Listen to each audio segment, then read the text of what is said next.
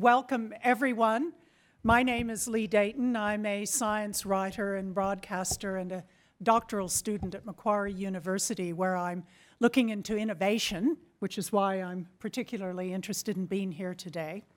I think the first order of business is that I would like to acknowledge the Ngunnawal people, the traditional owners of the land on which we're meeting, and I want to pay my respects to the elders past and present. And I also want to pay my respects to all of the uh, senior scientists and leaders in their fields that are here today. We have some politicians. I'm delighted to see that.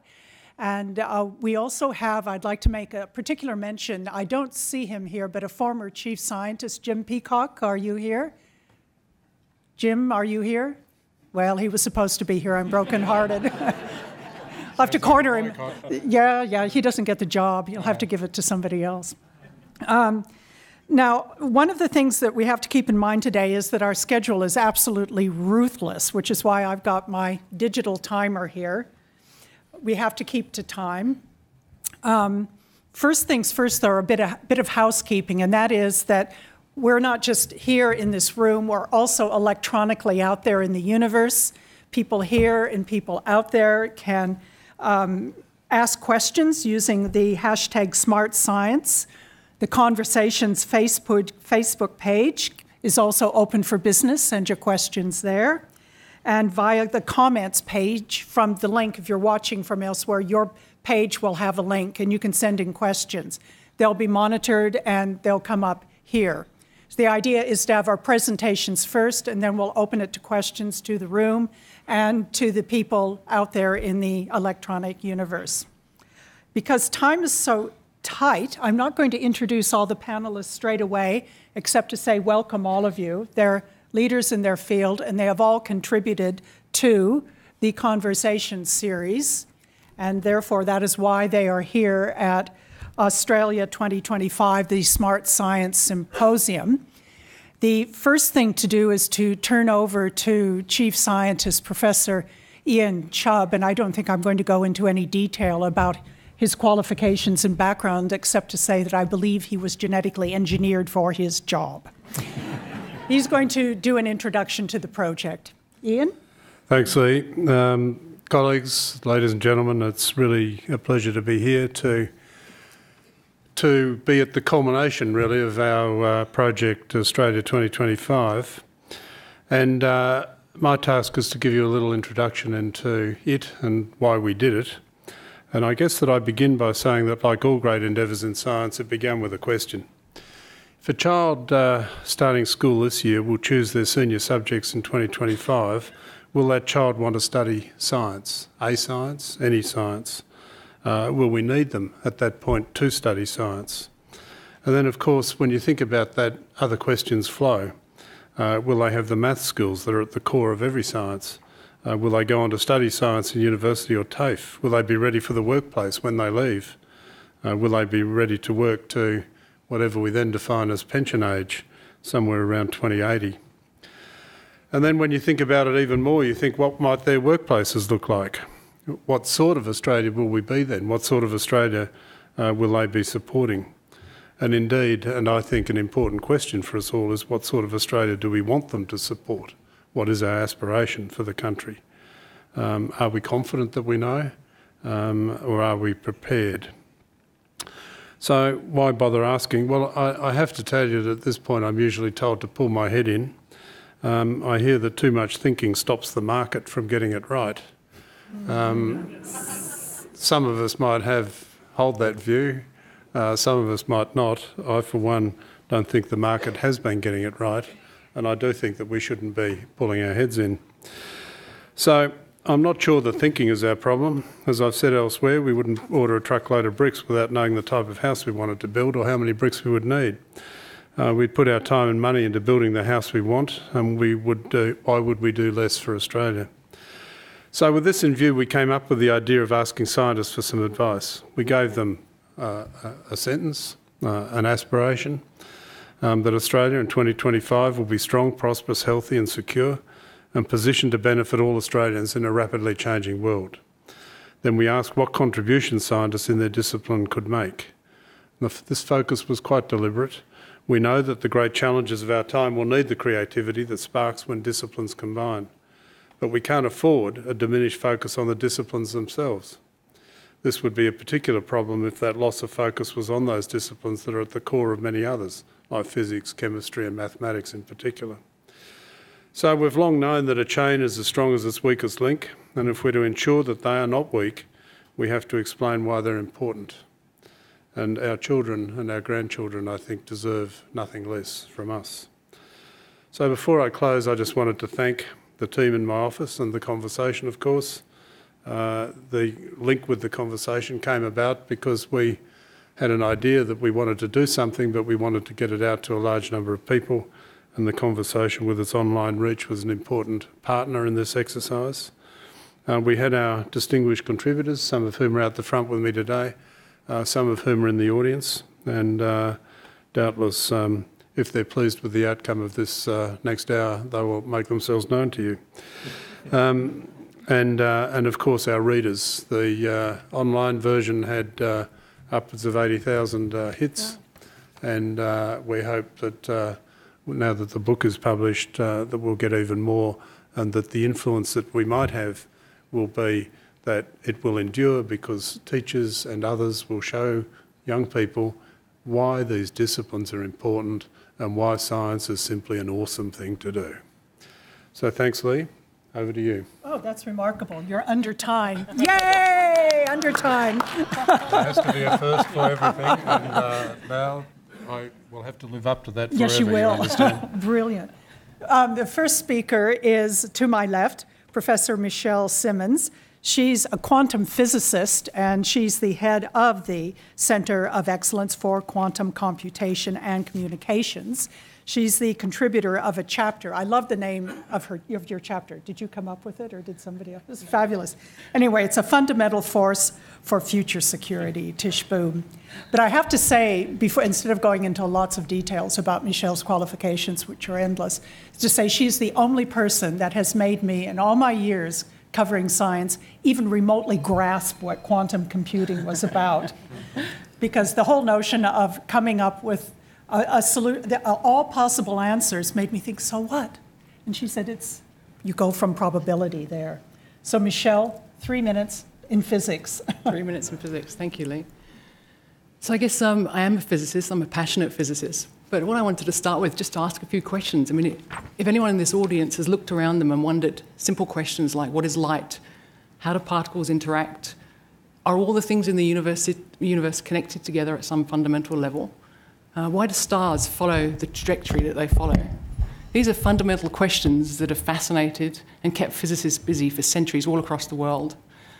The reason we study these things is because we want to understand the universe around us. And by understanding the universe around us, we can actually interact with it better, we can harness it better, and we can create wonderful new technologies which actually help humankind. And that's really what motivates us to try and understand things so we can actually under- make new things and from those new things understand things better. One of the things that's well known across the world is that physics as, uh, as a subject creates wonderful industries. And those industries themselves actually underpin the economy of most of the nations across the world. And to give you examples of where we've seen this in the past, you can go back to the invention of the transistor back in 1947. So it started out as a simple device designed, designed by physicists. It was used as a hearing aid in the, in the initial circumstance.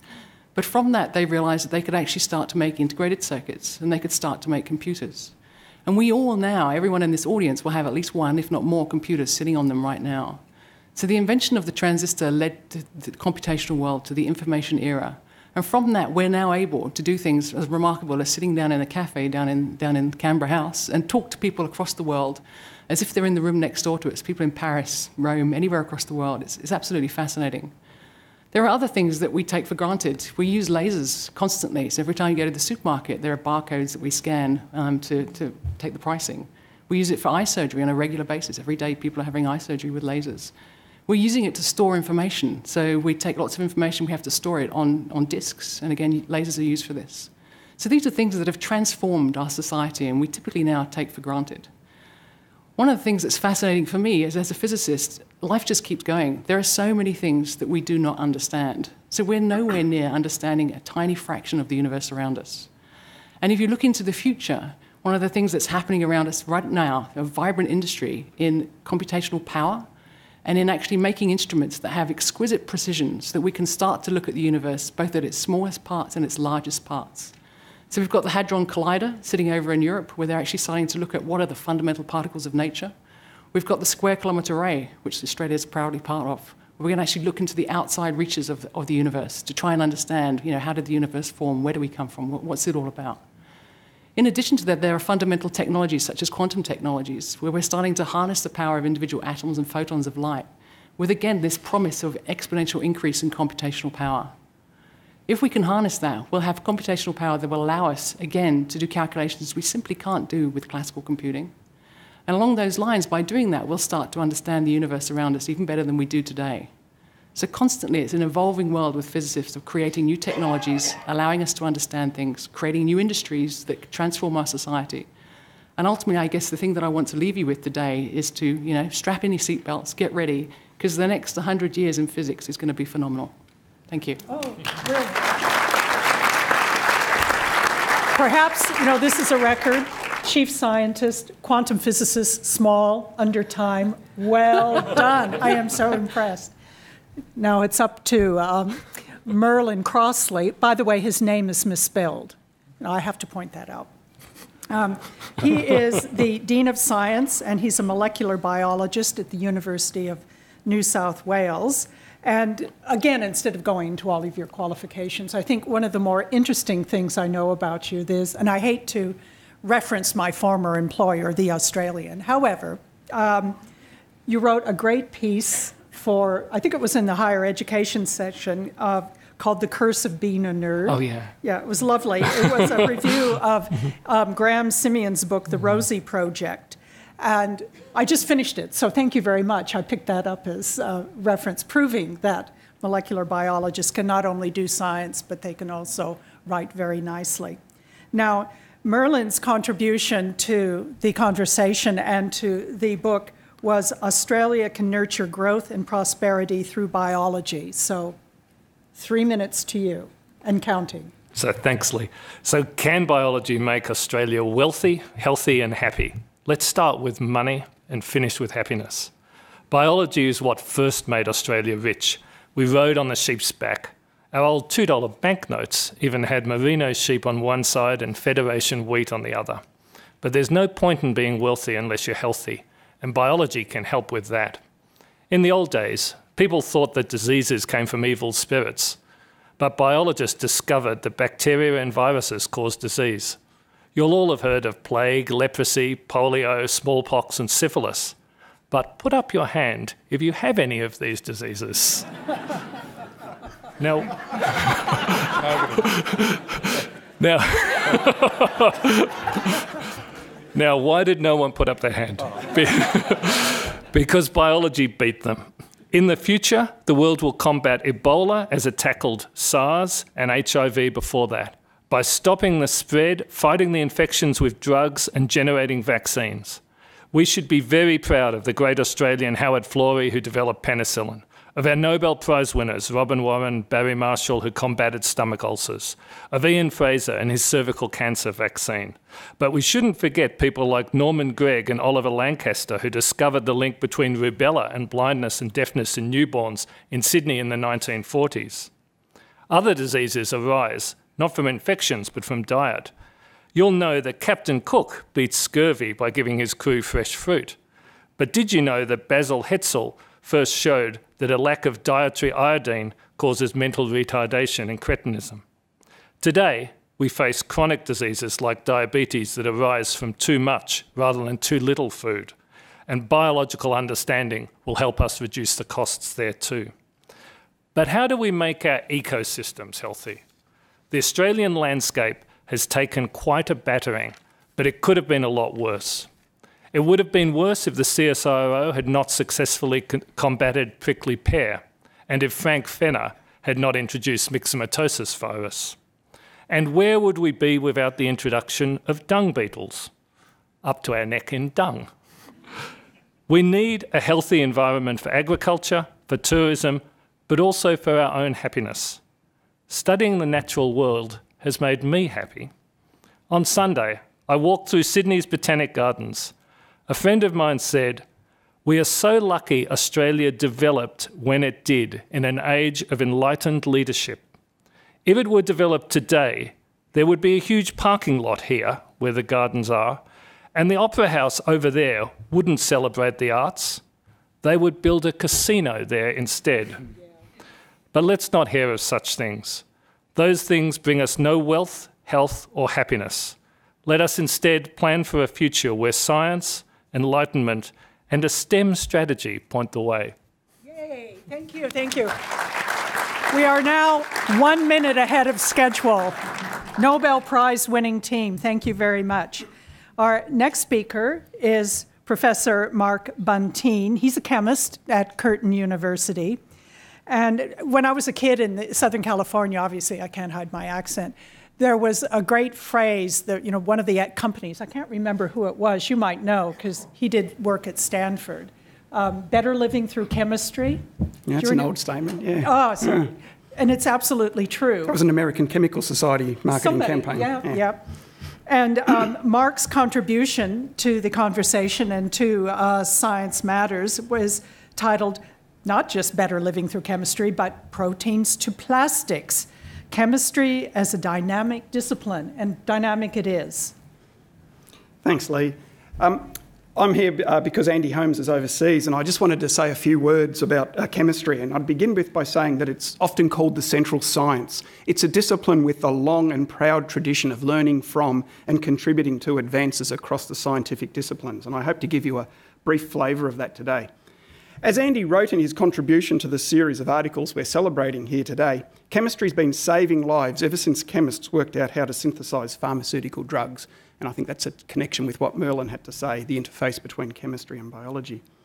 Chemists continue to play a crucial role in human healthcare advances, including novel drug delivery methods, overcoming anti- antibiotic resistance, and contributing to innovative ways to treat cancer. Chemistry is all about creating new compounds and materials. For example, by combining our understanding of the electronic, and dis- electronic structure and behaviour of matter, and there's the connection to the physicists, we can make ever more powerful and efficient batteries. The ever longer lifetimes in the batteries in your mobile phones is a direct result of modern chemistry. And I do note I'm the only one apart from Leigh who doesn't have paper here today. This isn't mine. Ah!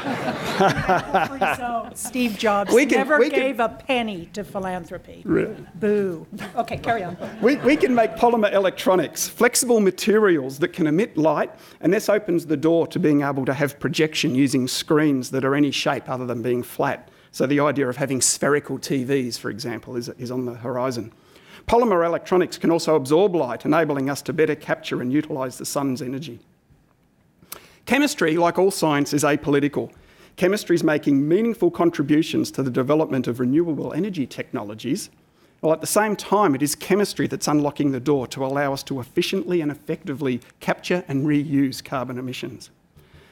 Ladies and gentlemen, chemistry is a vibrant discipline that continues to make substantial contributions to Australia's economic advancement. In recent times, much has been written and said about our mining boom. A major role for Australian chemists is to analyse and substantiate the quality of the minerals we extract from the ground. Similarly, chemists develop even newer and more sensitive techniques for detecting and quantifying compounds in our natural and built environments, our foodstuffs, and a variety of other contexts.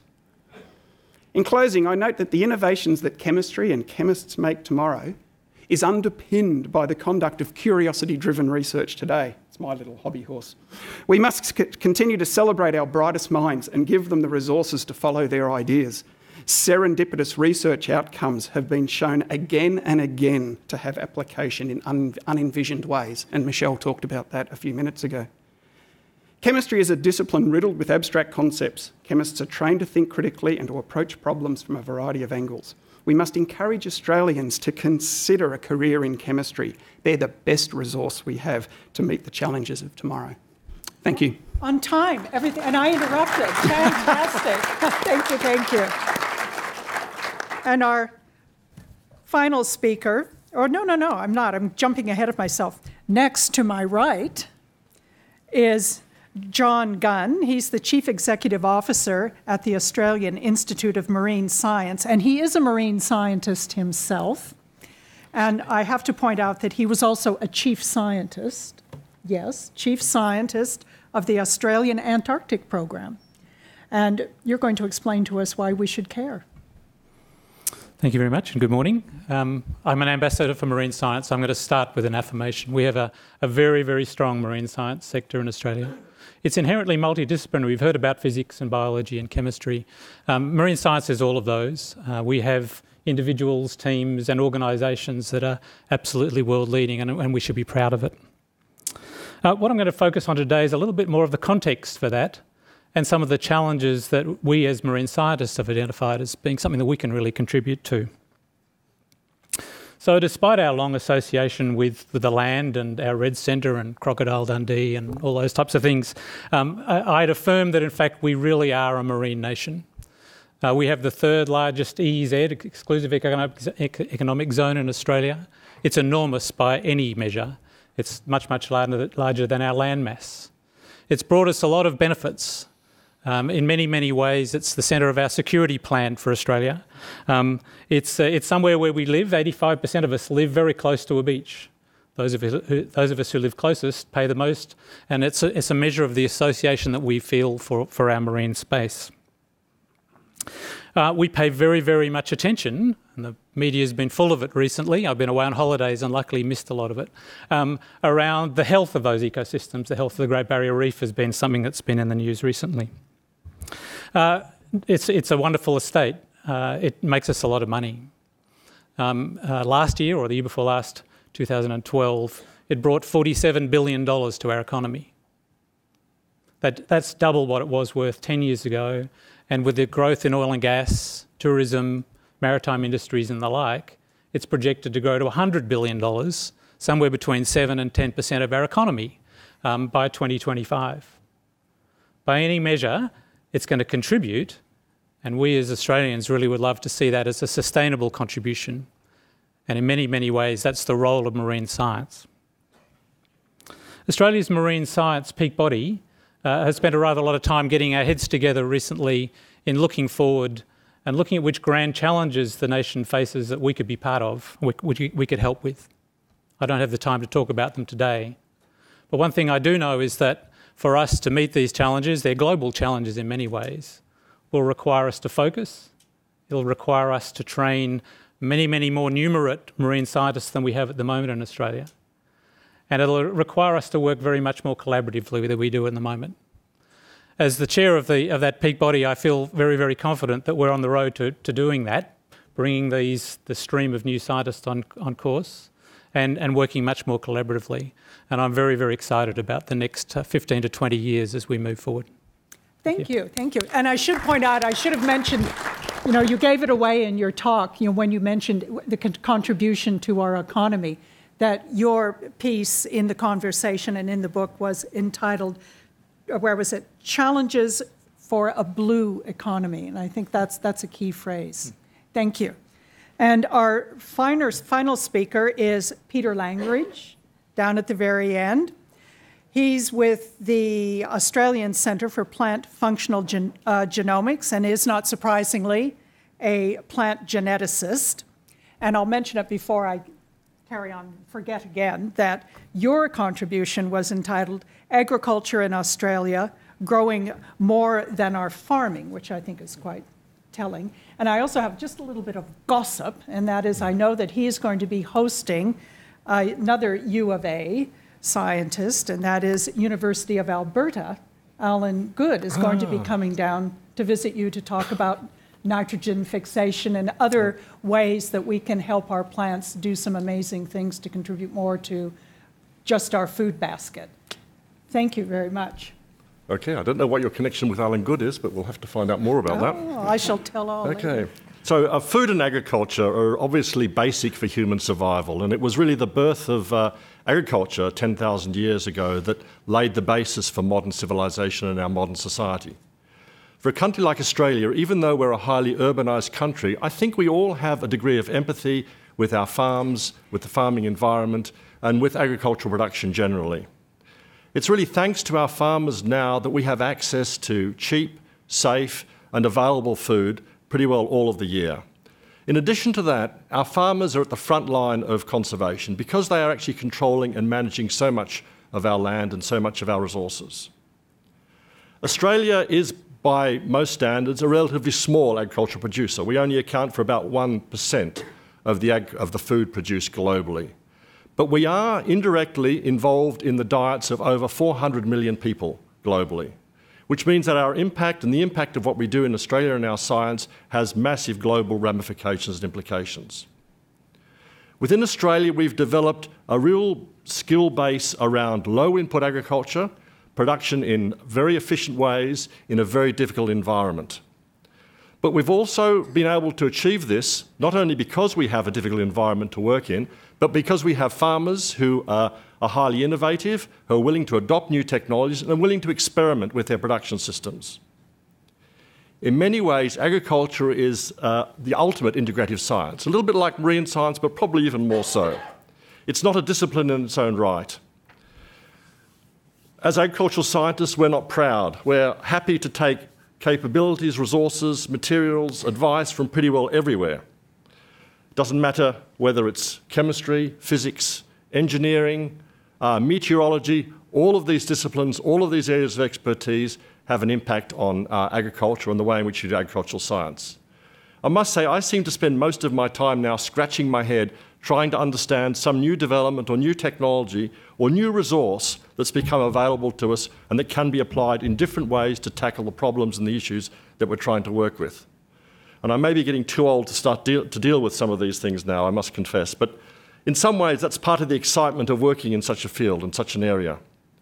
My area of genetics and, and breeding uh, occupies a whole range of different disciplines and draws on expertise from many different areas, whether we're uh, designing field trials in India, Mexico, or Western Australia, whether we're looking at best ways to use a wild relative of wheat uh, isolated from Israel, whether we're trying to study the roots and the root development of plants, always a really tricky, tricky problem because they're underground and very hard to, to see and work with. All of these aspects lead to the way in which we design our research, our experiments, and really bring and integrate different areas of expertise together. The lead in time to produce a new animal breed or a plant variety is very long. The varieties that have been released today go back to experiments, crosses that were done over 10 years ago. What we're doing now will have an impact on varieties and materials available to farmers in 10 or 20 years from now. So there's a very long lead in time. Everybody needs to eat. Many of us eat too much, and in fact, that's a growing problem, obviously, in Australia. Every country produces food, or virtually every country produces food, whether they're rich or poor. And in fact, generally speaking, the poorer the country, the more critical food production is for those countries. Agricultural science is international. The species we work with are used all over the world. We exchange knowledge and materials with our colleagues around the world every day. We learn from each other, but we also have an enormous opportunity to help our neighbours and help other countries in develop their agricultural and production systems. Given the breadth and nature of agricultural science, the future success lies in pretty well all areas of science discipline, all areas of STEM. Doesn't matter what you look at, what the discipline is, ultimately it can have an impact upon agriculture and food production. But what is probably particularly important is the way in which we use that breadth of knowledge and expertise and integrate it so that we can actually maintain food production levels at sustainable levels and do that in a way that causes minimal damage and impact upon the environment. Wow, thank you, thank you. Astonishingly, we are on time, so I want to personally thank John, Merlin, Ian, Michelle, Mark, and Peter for being so pithy. And I hope you'll agree with me that the ideas that they've raised are absolutely critical to our social, economic, and physical well being, and that the title of the symposium, Australia 2025 Smart Science, is really absolutely critical. This isn't just esoteric interests. At this point, we've got time to open the floor and the electronic floor to questions. There should be microphones. Okay, there's a microphone to my left, a microphone to my right. If anyone has a question, please just wave like this so we can see you and we'll get to a question. And while you folks here are beginning to ponder what you'd like to ask the panel. Uh, we have some questions that have come in um, over the um, social media, and the first one is from Michelle Rank, and she asks on Facebook. How can we better support research scientists in Australia to ensure young researchers have the resources to keep their competitive science ideas in Australia and the stability to be able to raise a family as well? And I think I'm going to ask um, the female panelist to respond to this first, Michelle Simmons. Thank not you. easy, is it? It's, it's not easy, no. I think um, I actually think it's pretty good in Australia. I have to be honest. So one of the things the Australian Research Council has done over the last decade, or many, maybe even longer, is have fellowships for uh, researchers. So and when you're young, you can apply for these fellowships, and they actually give you research support. And certainly, I have benefited hugely from that. So I've been on research fellowships for quite a period of my career, um, particularly since I have three young children who are you know 10 and 10 and below. Um, so I think that's that's critical. But I think um, also it's, it's perception. I think one of the things that uh, when you're a young female scientist coming through, it's good to see some others out there that have actually carried on and had children and been successful in their career. And certainly when I was uh, first pregnant, a lot of people told me, look, you know, it's going to be very tough. You're going to have to take time off. You know, it's going to be the end of your research career. Mm. But I also had a lot of good friends and a lot of good colleagues who said, look, you know, it doesn't have to be. It's up to you. It's your choice. And I think it's that perception that's actually probably the biggest challenge. And to see people out there that can do it, I know you can do it. It's hard work. There's no doubt it's hard work, but it's incredibly rewarding. And I think if you can have more females out there that have, have done it and succeeded, have a happy family, talking about it, A I think that's family. better. Yeah, I think that's. makes a big difference. And um, I'd like to toss that to you, Ian, as well, because you've been thinking about the policy implications of this. Um, have you put any thought to some of the ways that we could build into our science and innovation system the capacity to utilize the ability of more female scientists as well as young scientists to ensure that they can maintain their families and their careers simultaneously? Uh, well, we've um, uh, begun a project uh, jointly with the academies to look at precisely those, uh, or the first of those issues. Leigh, I think, um, you know, from my personal experience and the experience of many people in this room, this is something that we've talked about for a long time. In Australia, we've uh, clearly not got it right. Um, but as Michelle said, there is, uh, there are now more ways and means than there used to be, but we've got to get still better at it.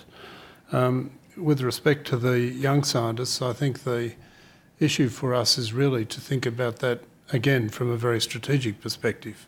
I mean, part of the what we'll talk about later uh, is that we need to ensure that we've got the whole pipeline flowing from mm. schools through uh, research, but through early career researchers particularly, and provide them with the support that they need um, to build the uh, um, capacity and capability that we have in Australia.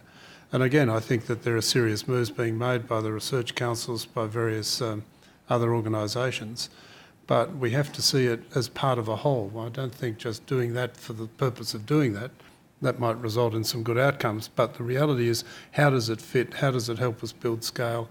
How does it help us make sure that we've got capability that will continue on when people like me are ready to hand on the baton? And I think uh, uh, we need some serious thinking about that more than we have put to date, I think, mm. or more coherently than we've done to date. Thank you. Any other comments from the panel before we move on to another question? I, I would just.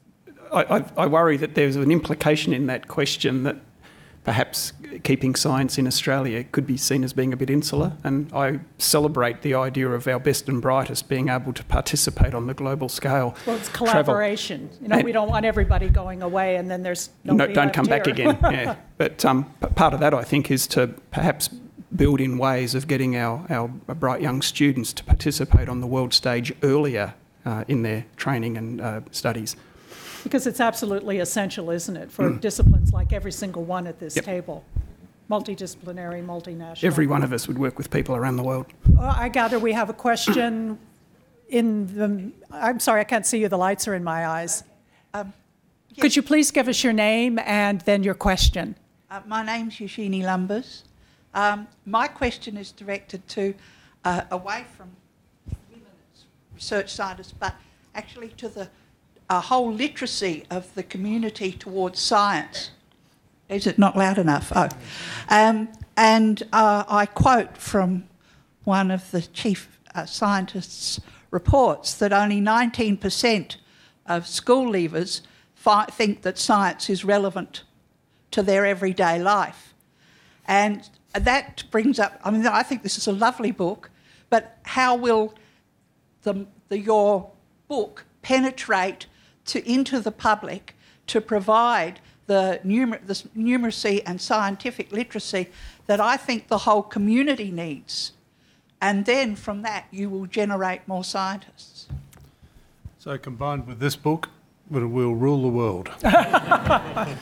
but but it, but it is a very important issue, and it is an important issue that that when you think about Australian science, I think that we've got to start at the beginning, and that is what are the school systems, primary school. Um, why do we have so few specialist science teachers in primary schools in Australia? Um, it's a bit patchy around the country, of course. Different jurisdictions have done somewhat differently, but nevertheless, the number is really quite small. Through secondary school, the preparation of teachers for, for it, the support of teachers once they're in service uh, ought to be a lot better than it is. Um, it would be extremely difficult, I think, teaching contemporary students biology that you learnt 25 years ago if you hadn't had really top quality professional or opportunities for professional development during that period. So, and, um, and I, I, I don't have a magic wand, but if I did, then I'd make things like learning about science, not necessarily the disciplines of science, but about it, the method, the, the um, process of the history of science and philosophy. I would make that compulsory in all schools, um, at least for a year or two, so that when people leave, they have some understanding of how science works. Mm. Um, mm. And then when they see a debate between scientists, whatever it might be about, but say climate change, for example, um, but that people can quite legitimately take uh, different views or have a different emphasis in their view. Um, and we don't see that as the end of the world. We don't see it as one knows something and the other one doesn't or whatever. We understand that they are the processes of science and, it, and we can still make an informed judgment about it. So, so I think it's very important that we just recognise we've got to start at the beginning and work our way all the way through to the end. Well, and that um, follows up. There was a Twitter question asking very much that question: is how can we harness creativity to transform STEM education, science, technology, engineering, and medicine? Um, so there have been, I gather, or math. Sorry, um, I'm thinking medicine. How could that be? I've damaged my finger. Um, and I gather that there have been several questions along this line. So certainly, the points that you're raising are absolutely critical. Yeah, I think so, and I think I think it's uh, again it comes back to, from my perspective, it comes to what we're trying to point out in here that you've got to see the thing as a whole, and not just little parts. And you can fiddle with a bit here or a bit there, um, and that might appear good for the moment, but is it building long-term capacity, capability, and in the community generally long-term understanding, a level of literacy which enables. Um, you know, sensible discussions to be held and, and, and in an informed environment. So I think that that's what we've got to aim for, and, and it's got to be done, as I say, in that way where we look at the whole of it rather than just bits of it. Before we move on, would any of the other panelists like to comment? No? Okay, I gather there's a question up to my left. Please um, Give us your name and then ask your question. Uh, Helen Sykes is my name. I'd just like to make a comment on the um, question about the book. Um, over a thousand copies have already gone to senior schools throughout Australia. During Science Week, the book was launched in Melbourne and over 500 people attended. The book is free um, and is available to any school or anyone who would like a copy. All of the content is on the Future Leaders site and can be downloaded and is being downloaded free by schools and universities for teaching purposes. And down here again to my left. Oh, sorry. Yes, the gentleman in the middle. You uh, are? Uh, yes, I'm Brian Boyle. Um, um, I'm a scientist, first and foremost, because I'm excited by international collaboration. I think the panel have laid out very well the importance of science being fundamentally international. Having said that, what role then do scientists have in telling our children about the importance of international cooperation, uh, tolerance, and understanding uh, as part of the whole science message, so that by 2025, uh, chief scientist, our children not only have an understanding of science, but understanding of how to get along together in the world. Excellent comment. Any other comments on that line before we move to our next questioner? Uh, Madam? Thank you. I'm Marlene Kanga. I'm chair of the R&D Incentives Committee, and I'm an engineer. My question is on the other end of the science uh, uh, continuum that is converting all our fantastic scientific discoveries into technology and industries and into the companies that we need. Because I think we need that kind of transformation uh, in Australian society. So we're very good at doing the science, but I think where we're lagging is converting that science into the technology and the companies of tomorrow. Indeed. Ian, would you like to add to that? Well, I think um, we, we, heard from the colleagues on the panel um, uh, a fair bit of that actually when you think about, you know, Peter talking about agriculture, Mark chemistry, Michelle physics, and um, the, the two gentlemen on my right were also talking about that. The, the, so I don't think anybody would deny that it's important that we do it. Um, uh, we would have to say that if we if we believe what we read and what we hear in Australia, we would all understand that we have an economy in transition to something. What we also need to define is what that something is, I believe, otherwise it'll be bits of the economy that come together and we're left with whatever's left over. But, but the reality is that we've got to get better at that transformation. We've got to, got to get better at linkages between our uh, where our researchers are, mostly in universities, 60 odd percent in universities, um, and business. And at the moment, uh, um, some of you may have heard me or read some stuff that we've put out, but the OECD puts us at about 33rd out of mm. 33 nations for cooperation between business and universities. Uh, and, and, and that means that we're at something like 4%, whereas the United Kingdom, with a very similar um, structure with respect to where its researchers are is at about 40%. Um, they took steps to change it. I think that over the decades we've presumed that it will happen. And I don't think we can continue just to presume that it will happen if we believe it's important. So, so first we identify the importance. Secondly, we work out what to do about it, um, rather than just, as I've said once before, adopt the she'll be right, no worries attitude that has uh, dominated a lot of our thinking in this area. And there's a, a, Twitter question that follows on this in a general sense. It's from Dr. Danny, who asks How do we convince the government and public that pure research without immediate applications is worth funding? May I toss that to, say, a quantum physicist? Sure. I mean, I, I think in what I tried to outline in uh, in my talk was really that uh, basically technology, new advances in technology, come from fundamental science, and that's uh, that's so well documented that um, I guess all people that work in fundamental science know and understand that. Um, but it is challenging once you have a technology that's maturing, and certainly in the field that I'm in, that's getting to the stage now where there are applications coming out. Um, we're certainly talking uh, with government a lot about how do we how do we translate that. We've got a lot of exciting things happening. How do we move that across? Um, we're getting good, good response from government. They want to help. They understand it's a problem. Um, so I think going into the future, things will start to change, but it, it, does have to happen now internationally to be competitive in our, you know, in our technology spheres. We've got to start changing things now. Is this something that should be part of a, dare I say it, strategy, a science strategy to have the mix of applied and fundamental research? Absolutely. I don't think we can uh, do with only one of them. We've got to have both. Um, we've got to be able to support both and we've got to explain why both are important. And it just happens that one is a little easier to explain, or the importance of it, whereas the um, the other one, um, we've got to keep at it. Now, one of the things that um, that I think that we have to learn to do as a scientific community is to be relentless in our in our um, the way in which we explain the importance of these matters.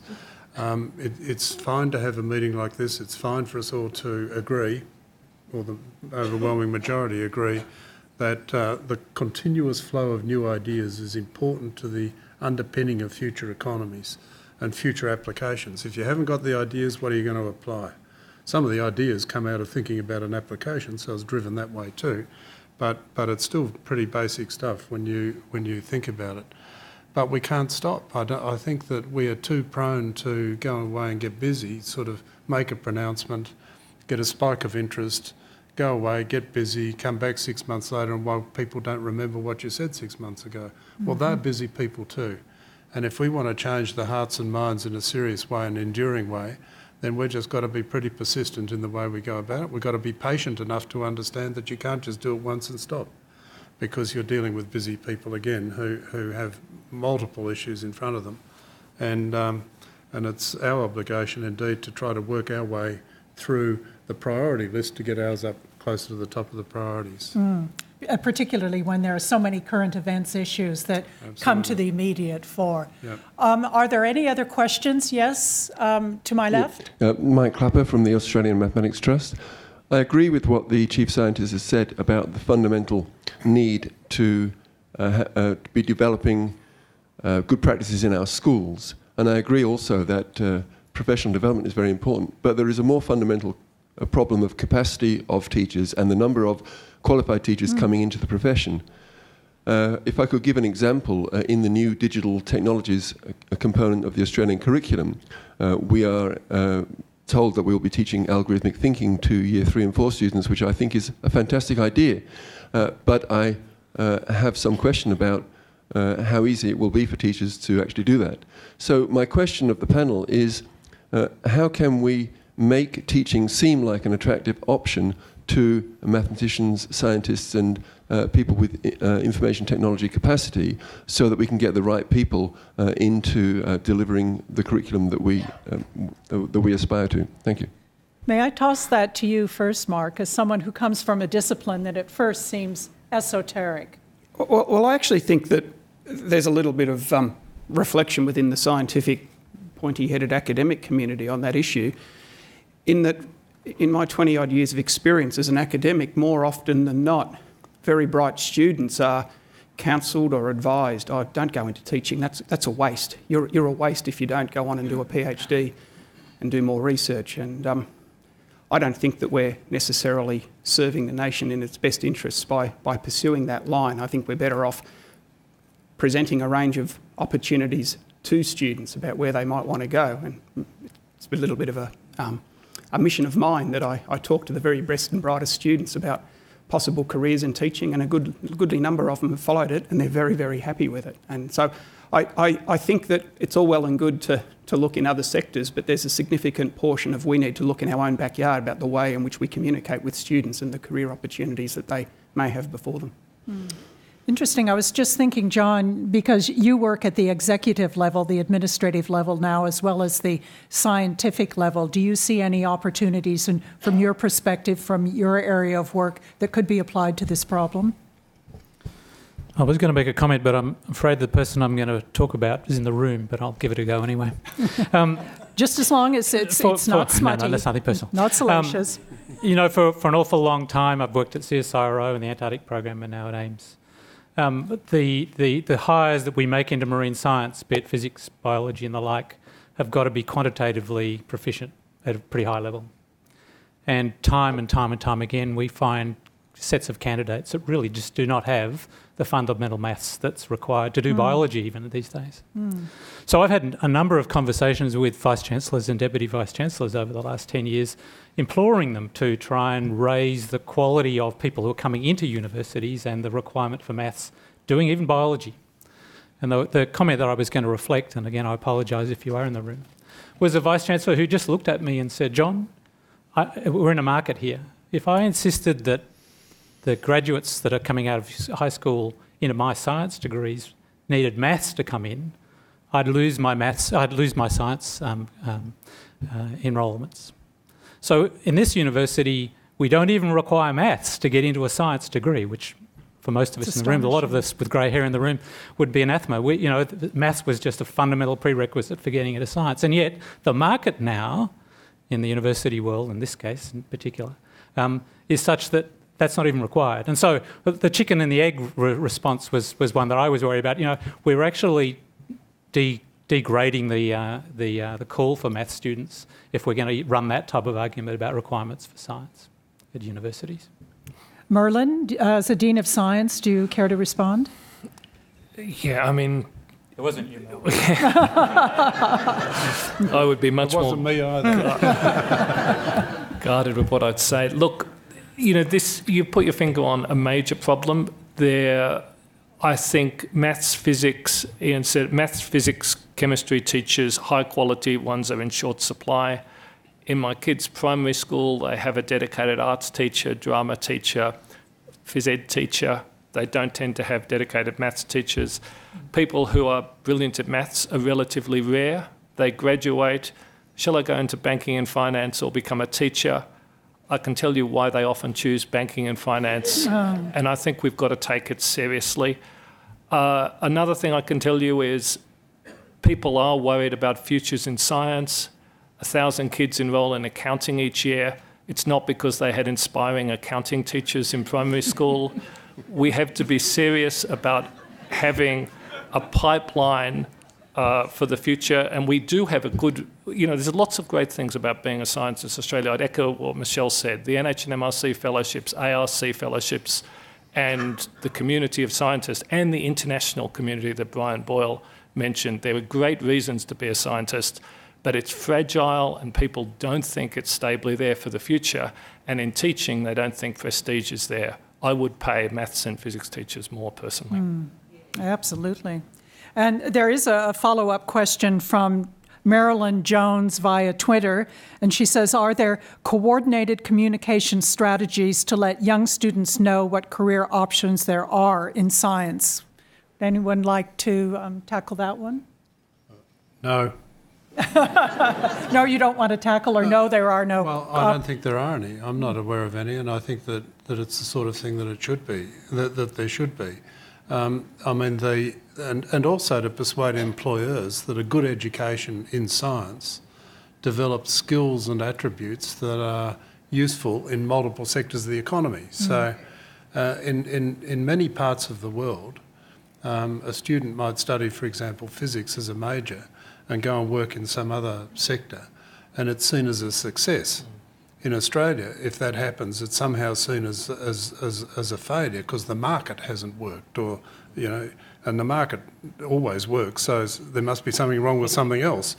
And, um, and I think that we've got to get a lot more mature in how we go about some of these issues and how we think about about the uh, way we present both the educational process underpinning a science degree as well as the content you get when you're studying science. If I could make one other comment about the teachers, they, they, um, in the latest data that we've been able to get, which is a couple of years old, I think there was something like 500 students admitted to pre-service teacher education courses in Australia with a UA and ATAR in the top decile. So 90 plus, 500 odd students out of many thousands. Um, the median intake score for science was around about 90. So half the load came in, in from the top decile. One of the challenges for us is to get some of those students interested in taking teaching as a career. And I think that the only way you can do that is to provide incentives for it, whether it's at the career end and the professional support that people need to be comfortable to teach biology as it is today rather than as it was when they learnt it five, six, seven or more years ago. Same with maths, physics, chemistry. So it really, it really is a whole package. I don't think we can put our finger on one thing and say that would change dramatically. The other thing, of course, is that unless we want to wait for a generation to get improvement, we've got to get to the teachers who are in service today, some of whom will be in the teaching workforce for 30 or 40 years, and, and constantly ensure that we, we, we esteem them, we give them the esteem mm. that they've got the future of the country in their hands. And you look around at again what other countries are doing, and most of those that have fine educational systems have teachers in the profession because the profession is given very high esteem and regard within the community, and we've tended not to do that. So you get this compounding effect, and we've got to turn it around and compound the other way. Are there any other questions? Um, sorry, I mean, these lights are diabolical. Uh, oh, John- there, John Rice sorry, here. yes.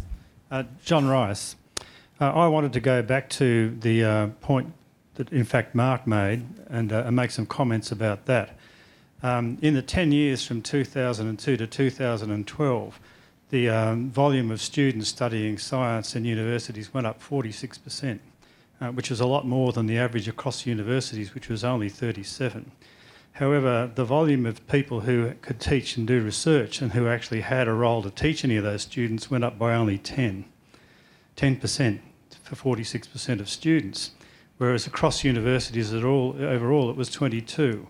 The point that I want to bring home is um, Mark's point that teaching is not highly valued at the moment in a lot of the science disciplines. And so a lot of the problems that we actually have in attracting people into these other areas and to make good teachers lies at the root of the way that disciplines are organised within universities as they stand. Even in initiatives such as Ian Chubb himself um, put up about trying to get um, fac- science faculties and education faculties to work together to think about this problem of having a more dynamic approach to teaching science, it's very, very difficult to get science faculties, for example, to come to the party on that and invest energy and effort into it. So it seems to me that one of the major issues that we have is to convince the disciplines that they should have a broader view and, in fact, not just have the view and feel good, but also put money in and organisational effort in to having people do more than just the disciplinary based discovery research.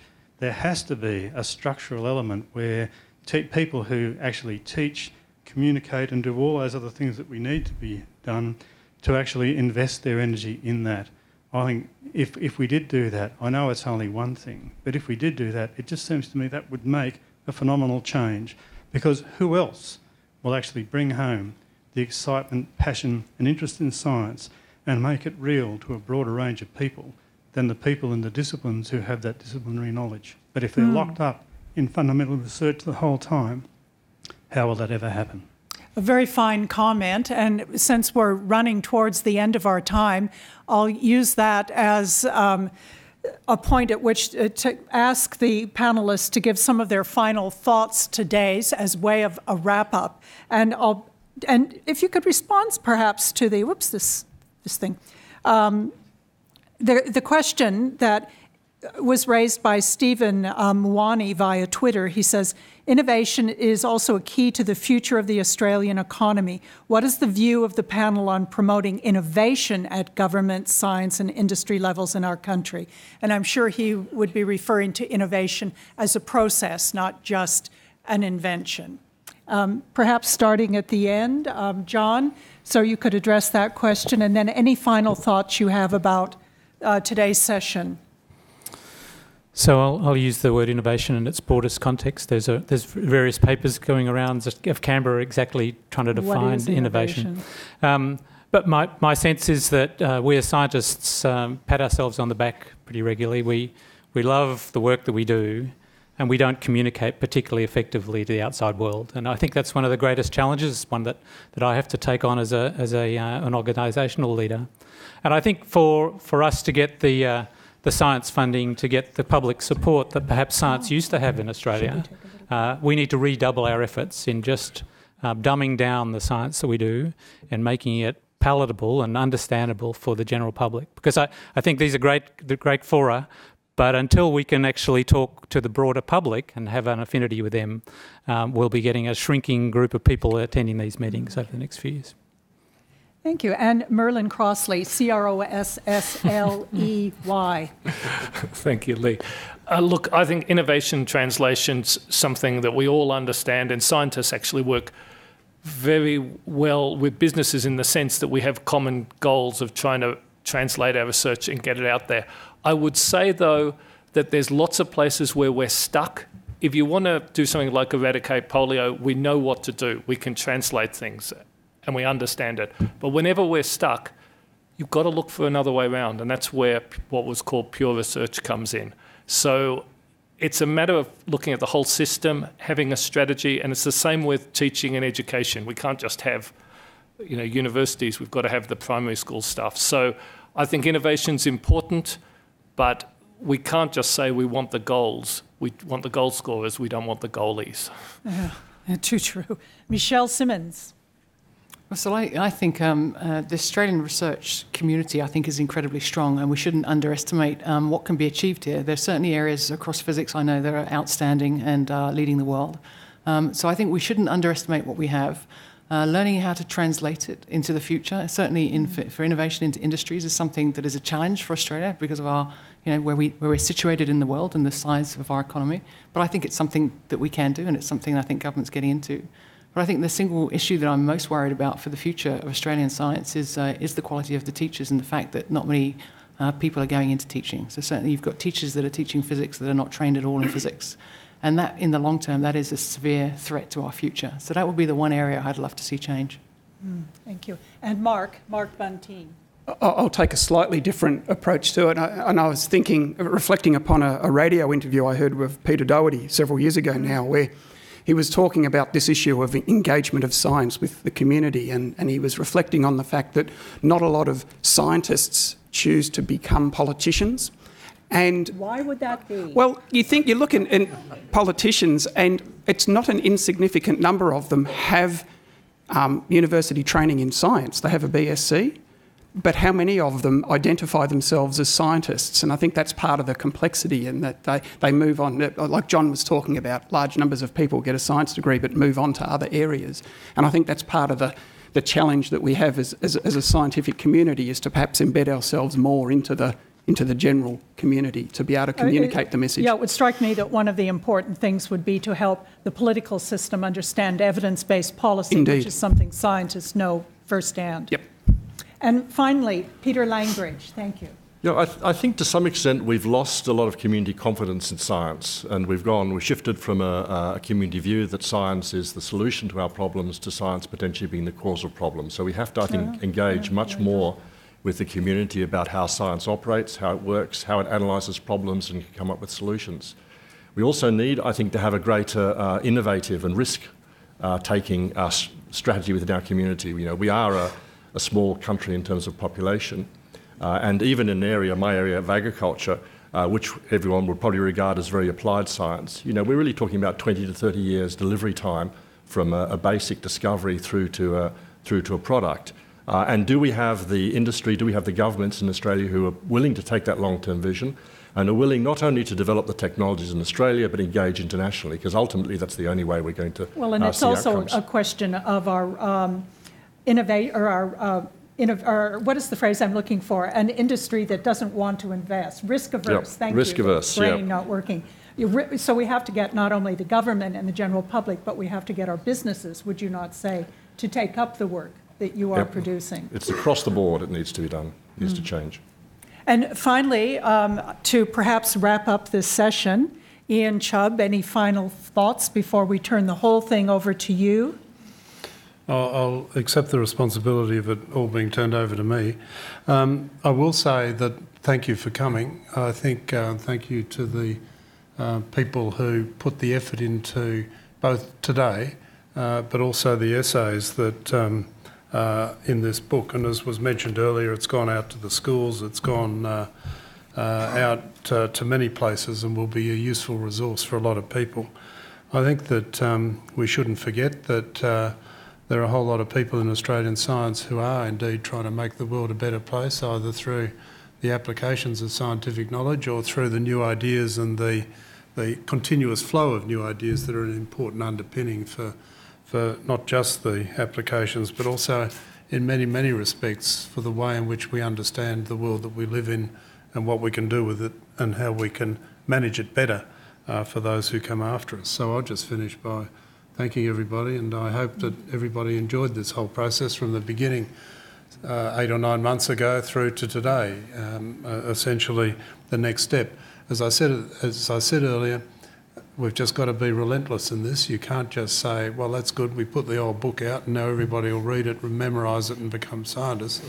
That would be a bad outcome, incidentally. I don't particularly want to live in a world populated only by scientists, but but um, but the uh, but the idea that we can just think that we've done enough because we've done this has got to be what we've got to clear out of our minds and understand that this is a long run, and uh, and we've got to be willing to run it. Thanks. So thank you. Uh, th- uh, excuse me. This will be the end of the symposium part of today. And are we going to begin immediately or take a break? No, no, okay, we're going to so begin immediately. over to you. Just in case nobody came back, I think. Oh, the, the doors are we're, locked. we're in Parliament House, so lock the doors. Uh, I think. Um, um, so uh, we're now going to move on to where we uh, launch, uh, release this paper, which we've called "Science, Technology, Engineering, and Mathematics: Australia's Future." Um, there are copies of it out there, and I'll go and explain a little bit of what's in it in a moment. But first, it's my pleasure to introduce the Honourable Ian Macfarlane, who's the Minister for Industry and the Minister responsible for Science in the government. Uh, as I do that, I want to acknowledge the Minister's comments earlier this year that, and I quote him, I'm sorry about this, Minister, but quoting you back at yourself, um, but Australia's prosperity depends on our ability to transform and modernise our economy, which in turn depends on our scientists and the quality of their work. And uh, as somebody who's close to this, uh, I did find those words uh, um, uh, truly relevant in the way we're trying to shape uh, the future of what we do. Um, and I was heartened by some words from the Prime Minister's comments just last week when he was talking about the need for science. And he said, uh, There is a, a big need for science if we are, and I quote, serious about a better Australia. And I guess that's what we all want to be serious about uh, a better Australia. So I look forward to continuing our work towards that end. But in the uh, right now, the minister would like to say a few words. Minister.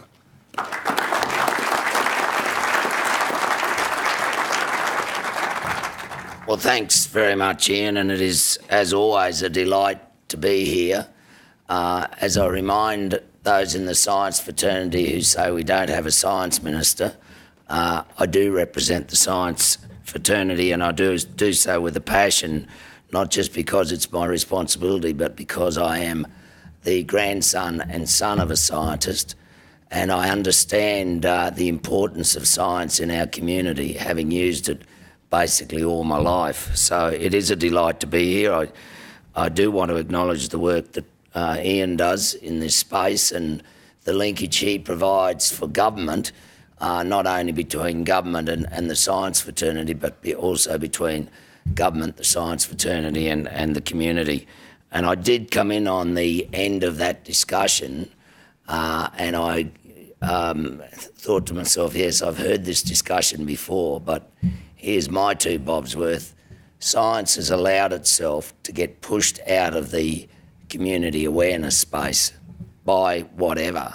Um, you know, you when, when you are, as I am, a, a practicing politician, which means I'm interested in what people say and think and do, you've got to realise that in a modern community, people are bombarded from every side with every issue, from getting dinner on the table at six o'clock uh, to making sure that uh, that the budget adds up at the end of the week, as well as every time you turn on the television, being sold a message to buy something or be involved in something, or when you go to your computer, tell someone what you're doing, and in that social conscious, uh, science is just because scientists always know that what they say is correct because it's based on fact and science, they then don't spend any time selling it and forcing their way into people's conscious. So, you know, there's my challenge for you. If you're feeling a little irrelevant in the community, uh, the answer is make yourself relevant. Make people understand that science is more than just fixing sick children, that actually you're solving day to day problems for them every day because a lot in the community just look at, look at scientists and say, yep, they're inventing the, the great uh, cures for all these diseases which are so horrible, and then they stop thinking about it. Why do I know that? I know that because if you're a small business person and you've got a problem that you need to solve, only 3% of you will go to a scientist. Worst collaboration in the world. Yes, we are risk adverse in Australia. I don't understand that. We're, we're a country built on taking risks. Um, we, we, we are very tough on people who fail, but that's not the reason that business doesn't collaborate. They just don't think of scientists as being part of their solution. And and scientists need to improve your front foot ability and push your relevance into the community because if you don't, no one else is going to. It is a highly competitive space out there for people's attention. Um, and as I say, for a whole range of reasons. Um, and if you're not in someone's consciousness, let alone in their subconsciousness in some cases, then, uh, then you won't get a piece of their thinking and then you won't uh, therefore have that push as, it, as, as you need to make sure that, uh, that, that science is taught in schools, because I don't really understand why it's important that it's taught in schools. And of course, that other very important area, that science is an issue that, uh, that politicians should address. So I acknowledge the, uh, slightly digress from my speech there, but I acknowledge the work that Ian's done and I have enjoyed working with him on that. And, and, I, uh, and as you'll see, there are a number of issues that we are working on together. Uh, other distinguished guests, uh, parliamentary colleagues, if there are any here, uh, ladies and gentlemen, it is, it is always good to see such a strong turnout uh, at these sort of events, and it is important that we have the conversation about science and where it all fits. And, um, and we are in government very conscious of the fact that science is essential to building the future of Australia. And I, as Industry Minister, who now face this enormous challenge of transitioning manufacturing in particular in Australia to advanced manufacturing where we will again be competitive. So away from the commodity style manufacturing uh, that we see in the car industry where a Toyota Camry is made in five or six different countries and it's all exactly the same vehicle, give or take. And unfortunately, we have the most expensive one to build. Um, and therefore, that industry is not going to be sustainable. So we need to transition our manufacturing to ad- advanced manufacturing to produce high value, high niche goods uh, that, that have a great level of sophistication in them. And where are we going to get that sophistication from? From the science community, where else? And so we are going to use uh, science to make us more competitive in the industry space in Australia. And then you will have the flow on benefits that I was talking about a minute ago, where people's standard of living is improved by science, not just by providing them with cures to diseases, but in fact by providing them with a better standard of living all round because they'll have higher wages. And our government will use uh, uh, science as part of our national industry investment and competitiveness agenda as we, uh, as we lay out our plan very shortly, I might add, uh, to ensure that we have um, uh, the businesses and the jobs of the future. We are very much focused at the moment uh, as a government on building the connections between business and research, and I have spent a great deal of time um, uh, talking with not only the, the pure science community but and the research science community, but also the commercialisation part of that science community. And I know um, that uh, when the Prime Minister visited the Peter MacCallum Cancer Centre last week, and he spoke about the importance of STEM or science, technology, engineering, and maths. Uh, he said so in the context that it was the heart of our uh, of, of Australia's competitiveness, and it is, of course, the heart of our productivity, not to mention our health. As Industry Minister and the Minister responsible for science, I am particularly focused on finding better and smarter ways of organising our science and research effort because, as you would be more than aware, we are in a difficult financial situation in terms of our own budget, and every dollar has to be well spent. We need also to make stronger and more meaning, meaningful connections to business and create places where industry and researchers can share a vision before they commercialise it and then go out and commercialise it because a good idea is worth nothing until it's commercialised in a monetary sense.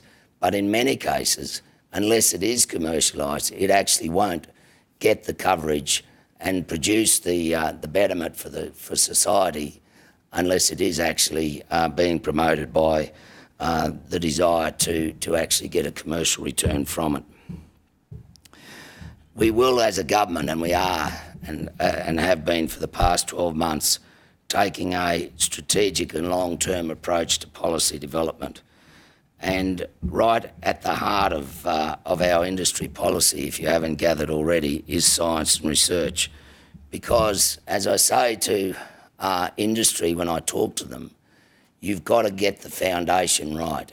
and the right foundation is science. If you, it is essential that we lay science in at the first level as we step forward in terms of taking industry forward. And if we do that, then not only will we produce innovative pro- uh, products, but we allow ourselves to get into the global supply chains and keep pace with changes in consumer attitudes.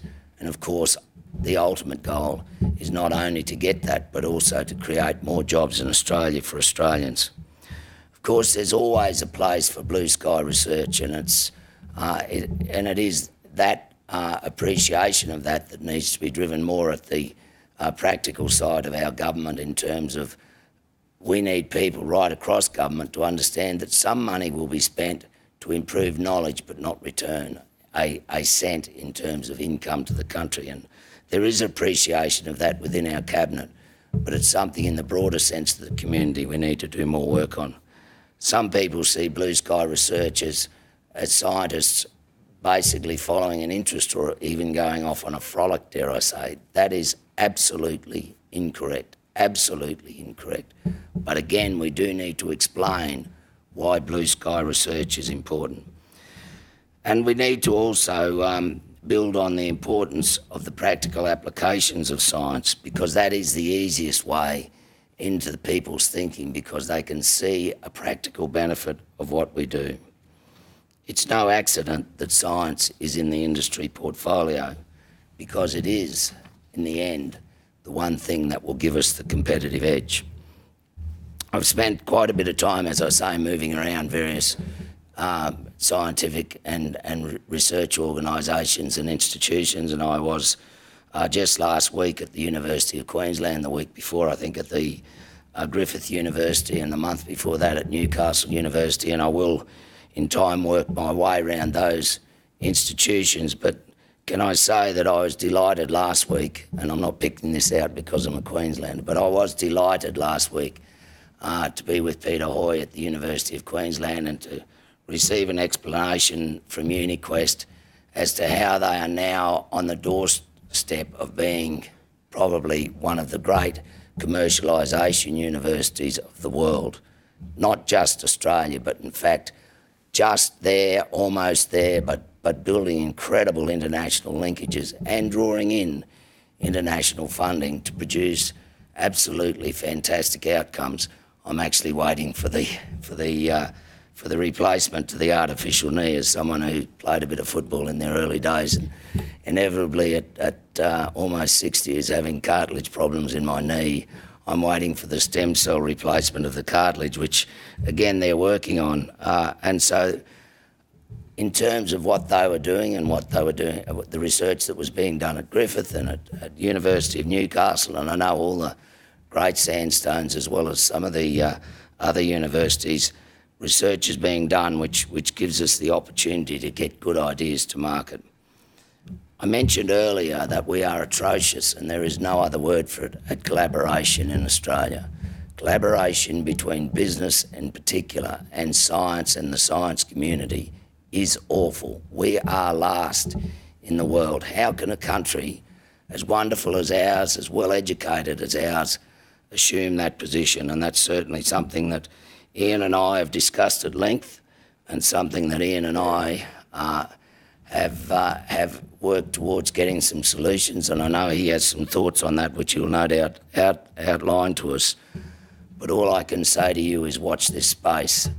I haven't spent the last 10 months um, being lectured by people, and they quite rightly should have lectured me, uh, about the poor collaboration in Australia and not being prepared to react to it we need to uh, set about to provide the superstructure of turning innovation in Australia into commercial outcomes and into collaboration between industry and science to make sure it all stays on the focus of progressing our industries in Australia to a much more a much better place and a more competitive place.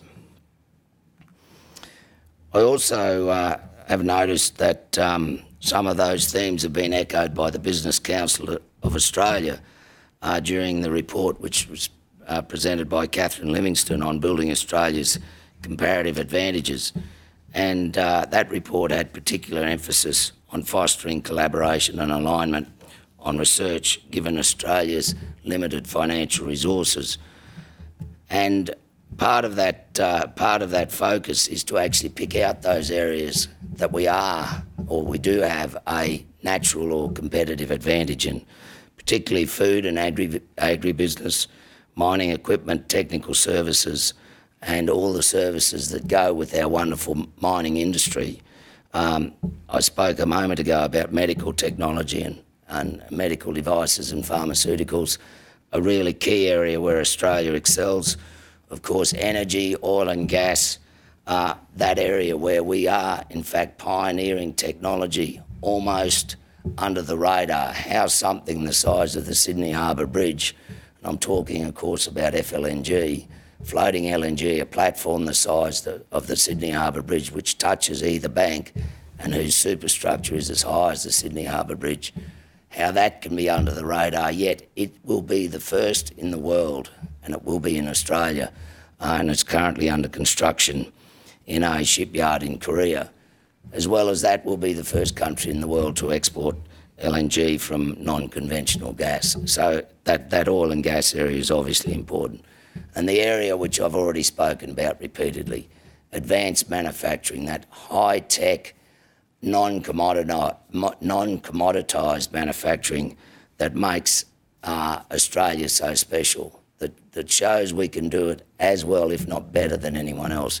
And there are a plethora of examples uh, across Australian manufacturing where we're already doing it, and we shouldn't be frightened as a country of, of transitioning industry to that space and having a go at it.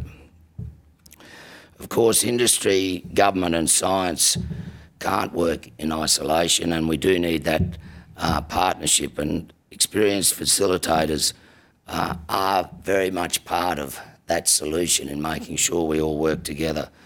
Uh, as I say, Ian and I have been talking in private, but soon we'll be talking in public about facilitating uh, bringing those three parts together. And as I say, I urge you to watch that space. We are very focused on strategies to enhance our research commercialisation and competitiveness, and these initiatives will provide an opportunity for scientists to continue to work with government and business to create new ideas, new connections, and new inventions, and as I say, new jobs. These approaches will allow us to, to better, to have better, smarter, and more targeted approaches to our research. And, uh, and I know that uh, Ian's efforts and my efforts as well, in collaboration with him, to convene a reinvigorated, reinvigorated Science Council will also soon come to fruition. Uh, something I'm looking forward to. I always enjoyed um, the MSEC when I was Minister for Industry last time I wasn't Ministry, Minister for Science on that occasion, but I will be this time. And uh, to have that completeness in my portfolio and work beside people like Ian is something I'm very much looking forward to. In conclusion, can I congratulate you again, Ian, uh, you and your team, and all the eminent people who've contributed uh, to your work to continue to uh, focus the science conversation in Australia. As I say, it does need to be focused. I look forward to continuing to working with you all uh, on our shared objectives of strengthening Australia's future through science. Thank you.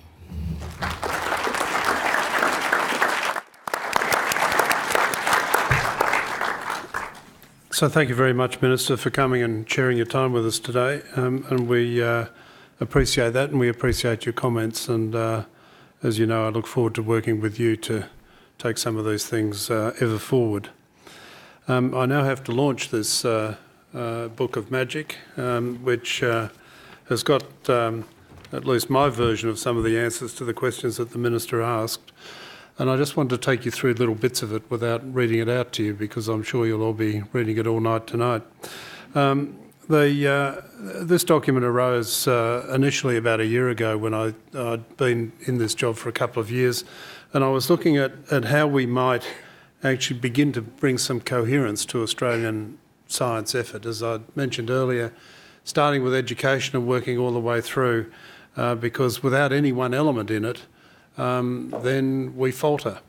And we've tended over decades now to pick out individual components, individual elements, uh, do bits at the margin, introduce um, um, terminating grants and, and offsets and the like, which in many respects are not consistent with the strategic approach to this if we want to be serious about it. So I, um, in, in, in a year or nearly two years of getting lectured by a whole host of people, Minister, the, uh, I'd come to a number of conclusions. Um, one was that um, if we are going to facilitate uh, our ambitions for Australia, we're going to have to do things in ways, different ways, um, do things quite differently, but particularly on a scale that we hadn't uh, achieved before. And we've, we've become quite good, I think, at breaking things up into small components and, uh, and then presuming somehow that they will cohere. And when you look at it, some do. And there are some really good examples of these programs that work particularly well. So I don't want to leave behind the impression that I think nothing works, because clearly a lot does. But the real issue is um, are we operating on a scale? So I talk about science teaching in schools and I get told about a program. It's a good program, it's an effective program, but it's about 60 people.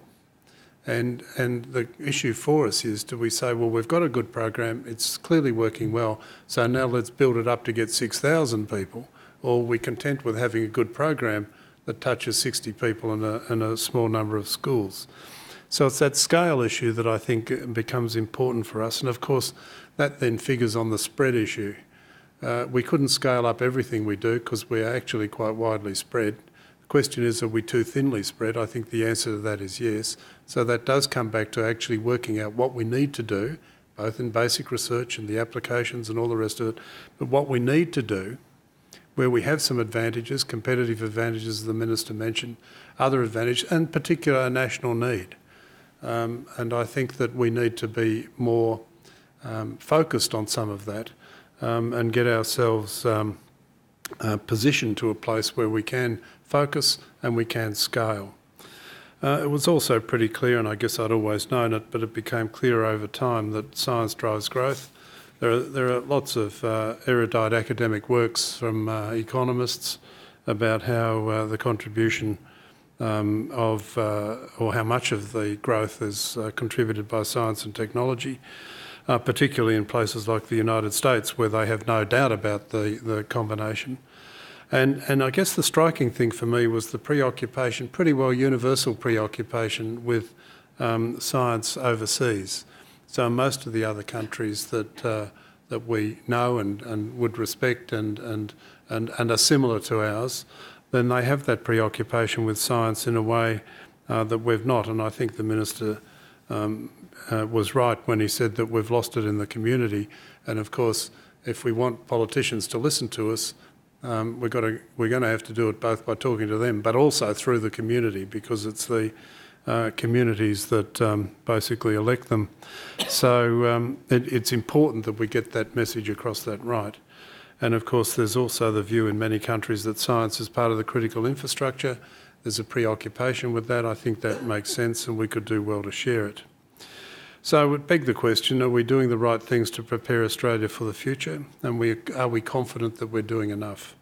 So I'm not so sure right now. Um, I think our top researchers, and we will publish a report fairly soon, which will uh, summarise a lot of the information that's spread around, but our top researchers are very good. We do very well when we look at the um, at the top end of our research um, uh, output and citations and the like. But we do need to recognise that that our average is middling. So in essence, we are we have room to improve. Let me put it that way. Uh, we could be better. We ought to be better. Uh, our patenting rates are poor, and linkages between science and industry are worse, and and uh, as the minister said, they're probably the worst in the certainly in the OECD. Um, business uh, often reports difficulty in recruiting science-trained graduates. schools report difficulty getting students to take senior science and advanced maths, and it's all linked.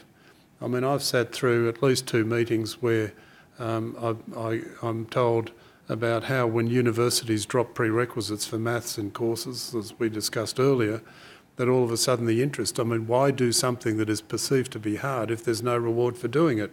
flits through the mind of a 15 or 16 year old student. And, um, and, and so the universities have a direct connection to the way in which students perceive and study courses at school. And, and we, can't, we can't separate them, but we have separated them. And it's that separation that gets in the way of doing things sensibly and doing sensible things. Um, a mere two in three businesses now identify themselves as innovators. I mean, how can it be uh, that in a country where we've talked about being an economy in transition for nearly as long as I can remember, which might only be yesterday, but at least um, it's, uh, it's, it's, uh, it's in reality a fair while. And, and two in, two in uh, five are innovators, but we've had innovation strategies for as long as I can remember, going back 30 odd years, tax incentives, all these sorts of things to try to get more innovation. And yet, two in five recognised as innovators. 4% of our large companies and about 4% of our SMEs interact with universities where the bulk of our researchers are. And, uh, and, and, and things are not working. And when you look around the world, you see many places where things are working better. Uh, there's a patience in it, there's a persistence in it, they're prepared to invest for the long term and the long run. Um, but they also acknowledge that there are more deficits than just a budget deficit that has to be handled uh, when we think about the future and the country that we want to hand on. So I think we've got a problem, and, uh, and it's a problem that markets and wishful thinking are not going to solve for us. Uh, there are people around who think that markets solve everything. Uh, uh, in this particular area, I don't think they do. I won't comment on other areas because I'm not familiar enough with, but I could extrapolate. Um, but, uh, but I won't. But I don't, I don't think that we should just think it'll sort itself out. So, as I've uh, said before in the earlier part, we're not being idle. There's no shortage of programs and papers and clever people with big ideas. But what we actually lack is the coherence that looks at it as a whole, um, where, where we sit back and say, if we want to make this better, if we have a high aspiration for Australia, if we do all that, and STEM and science is at the core, how do we make them all come together to cohere, to work in the nation's interest? And that means talking to each other in ways we never have. Um, John Rice mentioned earlier about how hard it is to get the scientists in universities to talk to the people in education. It's very hard to get the people in education uh, not to say they won't teach the science we want, so we will teach the education to the pre-service students.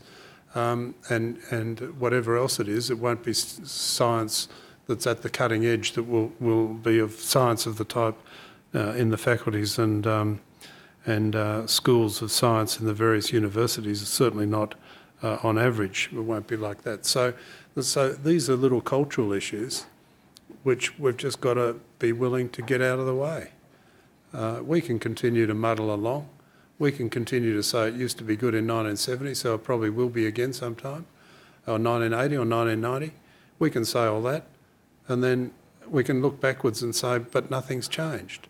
So shifting from incrementalist, self-protective protective denialism um, and self-delusion mm. is not actually the way for Australia to build uh, a, a sensible future for itself. So it was that sort of thinking that has been captured in the very few pages in this book. And um, uh, we are hoping that this will trigger sensible debate. I would like, of course, if I had a magic wand, for the government to stand up and say everything in here is so brilliantly conceived we will implement it entirely tomorrow. Um, I'm not actually anticipating that that will happen, um, but what it will do is it will certainly trigger a sensible discussion about some of the core elements in this bringing things together, getting some coherence, having conversations we have, have never had, and, and at its core, trying to build a scale that will make a big difference to the way this country is performing in 2020, 2025, 30, 35, and beyond. Because if we want it to change then, we've got to start, we're, back at our bowling mark right now, and we're starting the run in. And, uh, and we've just got to accept the fact, and also that we will invest, and there won't always be an immediate return on that investment. I was reminded of an article the other day about BHP booking losses when it was investing in its new mines, and uh, now they're turning a profit. But nobody thought they were stupid to book losses back in the day when uh, they were making their investment. They're getting the return on that investment now, and this is part of the message that we have to give. It's a long haul, it's a long run, there will be some costs up front, but the cost of doing nothing which is not frequently a question that the economists seem to ask themselves. You know, is it cost effective? That's one thing. What is the cost of doing nothing sometimes? Sometimes things have a value that is beyond cost, and we need to make sure that we get that message out there too as scientists. Anyway, in this um, uh, recipe book, I've, um, um, we've, we've identified four principal fields for action. We're talking about Australian competitiveness, of course, because that's essentially, um, you know, there is an end game. What is the end game here? One of the things that we've got to do, again, that we've not been particularly good at, is think of why we do these things. What's it all for? I mean, you can think of means. We all know it's means. When I was doing research, I thought that was, you know, the best thing in the world, and that was the end game. But in fact, the end game was that we were trying to make our contribution to making something better, either by knowing more, using something better, doing something more, whatever it was. But in this instance, I think that what we are hoping to do is to build a stronger and better Australia so that when we hand it on, we'll hand on something that we would be happy to live in. Not just something we say, well, we're going to pass off now, so you can have this, and away it goes. So um, we looked at our four fields Australian competitiveness, how do we make that better? How do we get things working more cohesively? How do we get the researchers and the businesses working together? And they've all got skin in the game. The, the universities are going to have to look at how they promote people, how they reward people, all of those sorts of things on a scale, because there's some good examples now of what they do, but we need to elaborate on that. And, um, and how we get benefits uh, and opportunities that will follow for all people in Australia, wherever they may live and whatever the circumstances of their birth, indeed. Education, I think uh, Australian education, formal and informal, uh, will prepare a skilled and dynamic STEM workforce that will give us the foundations for lifelong literacy in STEM in the community. I think, as the Minister said, when you lose the community, you lose a lot more than just the people. You lose the capacity to influence, the capacity to encourage, the capacity to grow, um, and indeed the capacity to influence um, uh, the politicians who ultimately, when they're choosing between priorities, will hear what the community is saying to them. And if science is low down, why would they artificially inflate it just because we talk to them? So we've got to work across the whole and we've got to have a community that's ready and willing and well informed and not patronised to and not talked to in language that they can't uh, find accessible because they are not themselves uh, scientists. In research, we've got to contribute new knowledge, we say, to a world that relies on that continuous flow of new ideas.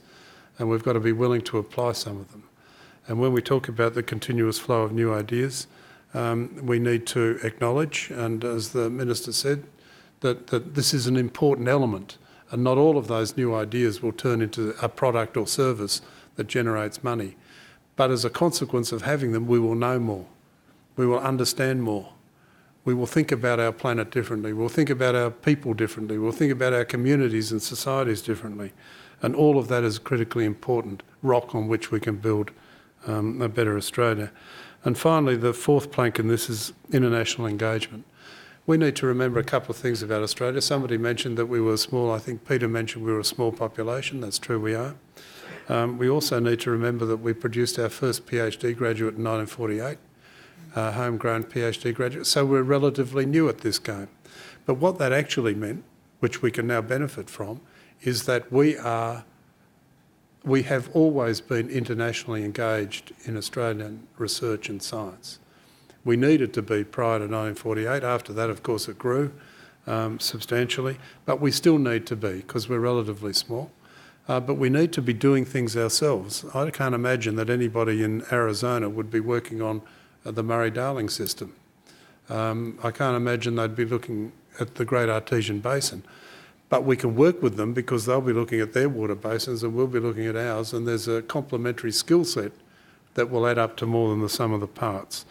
And international engagement for us, I think, is critically important part of our future, and we also make some recommendations about that and how to go about that in, in, uh, as well. So I think, um, colleagues, I hope you take the book, have a look at the book, think it's really good. Tell every politician you meet that it's great um, and that they should implement it right down to the last full stop or, or even the parts you like.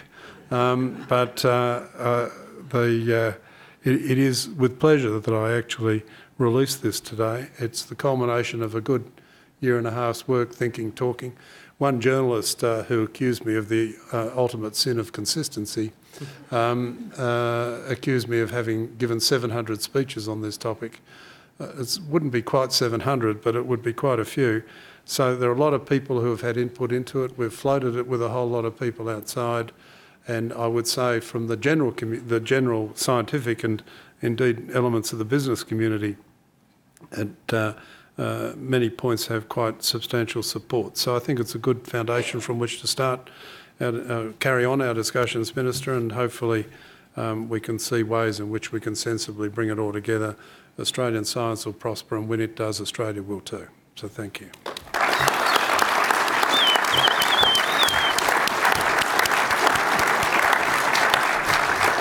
Thank you. I'm inspired. That's good. And you better be too. so I want to bring this all to an end by thanking Minister Macfarlane for attending and listening, other politicians, and everyone who's come today. And thank you, Professor Ian Chubb, for being so eloquent despite not feeling the best with your tooth. and all the panelists, thank you. Your presentations were remarkable three minute essays in a range of fields. It was astonishing. I'm absolutely gobsmacked at how fabulous you are. And thank you as well to the Twitter sphere and the, the out there universe. Thank you very much for participating and sending questions. I'm sorry we couldn't get to all of them. And again, thank you to everybody. Please give a round of applause for everyone. Thank you so much.